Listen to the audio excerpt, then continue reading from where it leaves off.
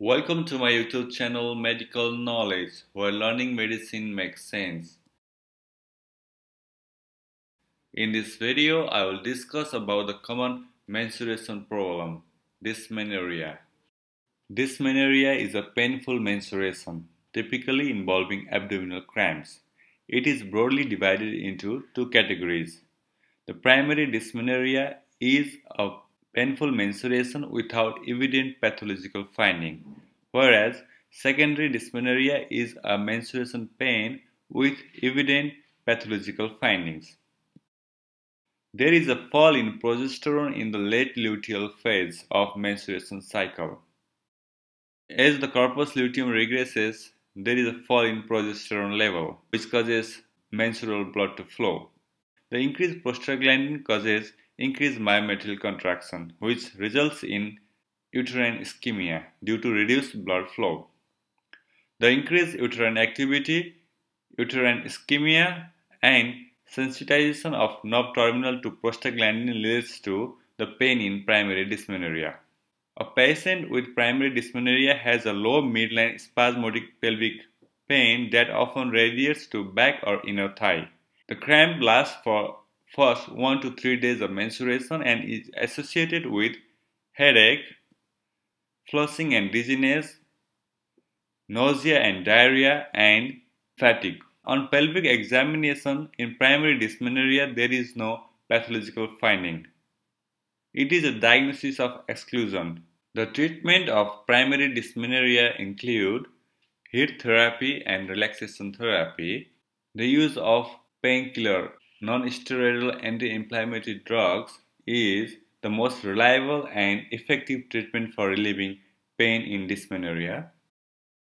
The combined oral contraceptive and progestin intrauterine device helps to reduce the menstrual blood flow and cramps by decreasing the amount of prostaglandin. If you like this video then please do subscribe to the channel. The secondary dysmenorrhea presents with low midline pelvic pain that often radiate to the back or inner thigh but it appears one or two days before the period and lasts for more than three days. The pain in secondary dysmenorrhea tends to worsen with age.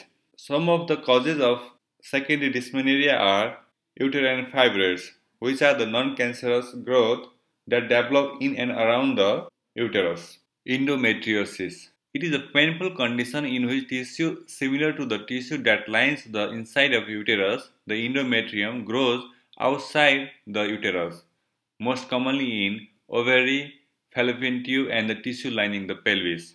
Adenomyosis is a condition in which the endometrium breaks through the muscle wall of uterus, the myometrium. This results in severe menstrual bleeding and pain.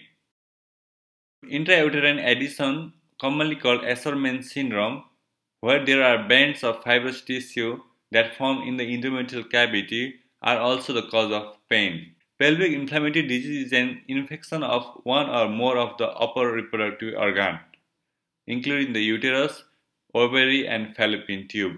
In pelvic examination, in case of secondary dysmenorrhea, there may be palpable uterine mass, cervical motion tenderness, adnexal tenderness, and vaginal or cervical discharge.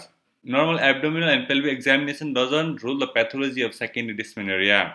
We need to rule out ectopic pregnancy by performing beta HCG, perform urine analysis to rule out urinary tract infection, complete blood count with differential to rule out infection and neoplasm, and swabs should be taken for possible chlamydia and gonorrhea infection. Ultrasonography can be done to rule out ectopic pregnancy, endometriosis, fibroid, and intrauterine contraceptive device inside the uterus. And hysterosalpingography can be done to rule out uterine fibroids, uterine synechiae, and laparoscopy or laparotomy can be done to visualize endometriosis or pelvic inflammatory disease. The treatment of secondary dysmenorrhea depends upon the type of pathology involved. Thank you for watching this video. If you like this video, then please do subscribe to the channel.